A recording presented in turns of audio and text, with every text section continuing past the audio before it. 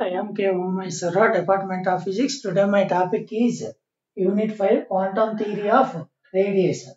So, explain the Wien's law. So, this is 5 marks question, short answer question. So, according to according to Planck's law, according to Planck's law, E lambda d lambda equal 8 pi hc by lambda power 5 into 1 by e power hc by lambda kt minus 1 into d lambda. So this is the equation number 1. This is the Planck constant law. So E lambda means emissive power.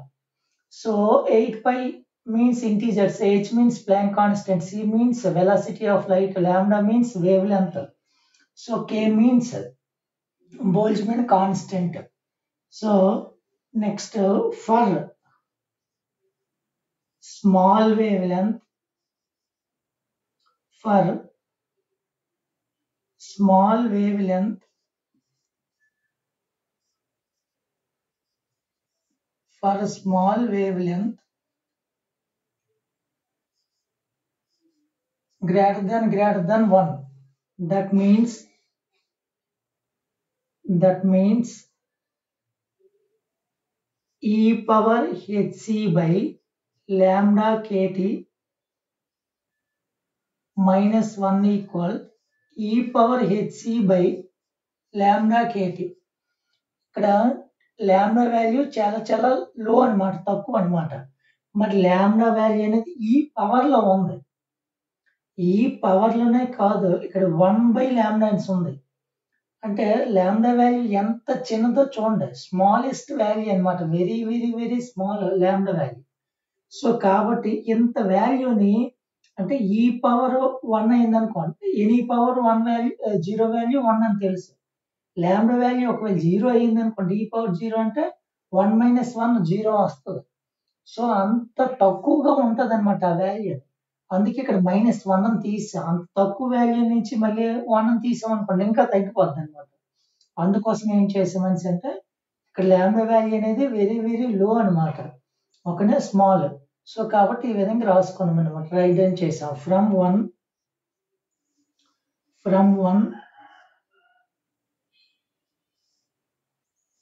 E lambda d lambda equal 8 pi hc by lambda power 5 into 1 by e power hc by lambda kt into d lambda into d lambda.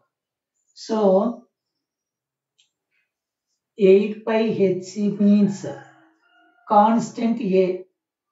So constant indicates the constant A. Hc by K means constant B. So we will write down E lambda d lambda equal A by this value A by lambda power 5 next step e power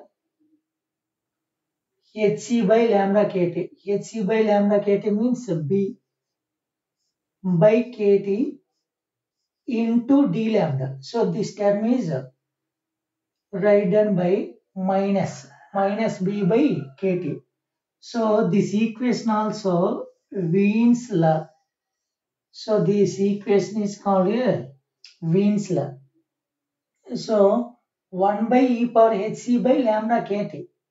So hc by lambda means e power hc by lambda kt.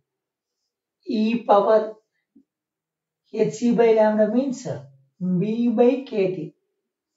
1 by. This is e power minus b by kt. This is the Wien's formula.